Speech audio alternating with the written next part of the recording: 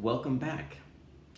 In this video, we are going to be looking at Henry Purcell's Air in A minor, and we're going to be focusing on the left hand and looking at some of the stretches and spans of the fingers that uh, for the left hand part, the accompaniment part, and also some position shifts. And some of these spans in the left hand are very common in piano writing. For instance, the very first three notes, this A, E, A, that kind of a figure is very common as a left hand accompaniment in piano. And what that is basically, if we think back to the intervals we learned in our introduction, and the introduction to this book, we have an A to an E, that's what we call a perfect fifth interval, and then the A to the A is an octave, okay, and that's a, a, a great way that composers outlined a, a chord without playing the chord, without playing this or this. Composers for piano would often play these kind of figures, an octave with a, a perfect fifth in between to find that kind of left hand accompaniment in a lot of pieces of music.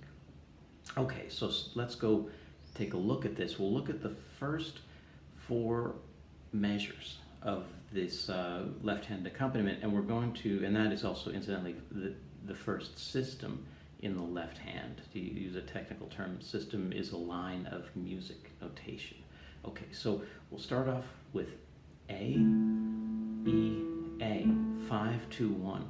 Then, while we're playing that, our left hand will move up to the G sharp and prepare for the G sharp. So it will be like this, A, E, A, and then the G sharp, your second finger is already there, G sharp, F sharp, E, and then your thumb is already in position for the A, so you'll play A, G, F, and then E, G sharp, C, okay?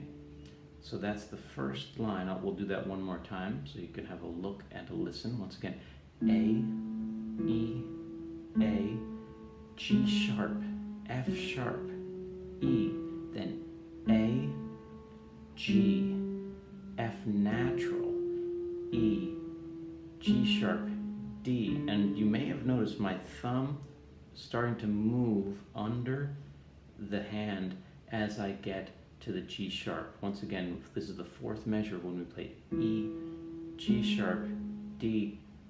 I'm starting to move under here, and you're going to see that we're lining up for that, that C, no pun intended, uh, on measure five. So once again, measure four to measure five is like this, very slowly, and look, watch that thumb go under.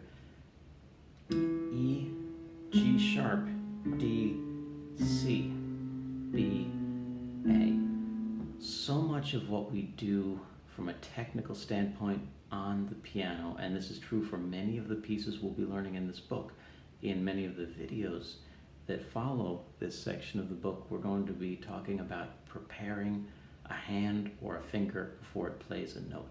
That greatly aids in the efficiency of our playing and we can focus then on making beautiful music rather than scrambling to find the right key on the piano. So um, here we go. So this, as someone who's on your journey with piano playing, uh, it's a good idea to think about this in different contexts, contexts rather, um, as you proceed forward with your piano playing. That that is to say, you want to think about how you can prepare for certain notes or get to certain keys, even for music outside of this book, in an efficient way where you're not going to have to, sometimes it's unavoidable to make leaps, but where you're not going to have to scramble around. So you want to find the most efficient and easy, most ergonomic uh, movement for your hands. Okay, so here back to the, uh, the measure four one more time. So let's keep an eye on this thumb going under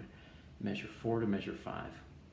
So E with the fourth finger, G sharp with the second finger, D with the fifth finger, and then thumb under to C, B, and then A with your thumb. That thumb under again will set you up for the second and third finger of the sixth measure. So the fifth measure will be C,